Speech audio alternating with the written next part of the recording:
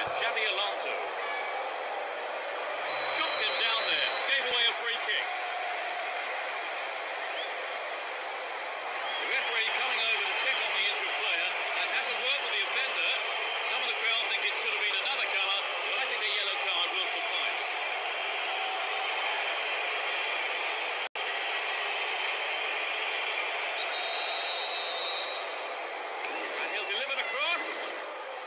safely into the keeper's gloves. Here's Drogba. Robin.